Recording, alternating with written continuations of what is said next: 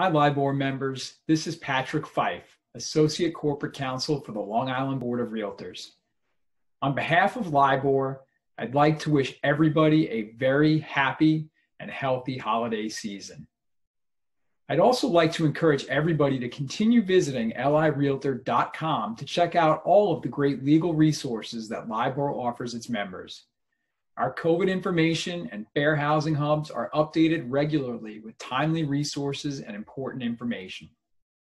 Please also check out the weekly legal tips on our legal page, including this week's tip on the legally mandated disclosures that you must provide for properties located in agricultural districts.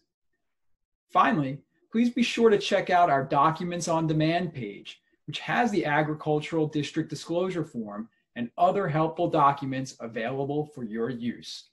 You can find all of this information and more on lirealtor.com.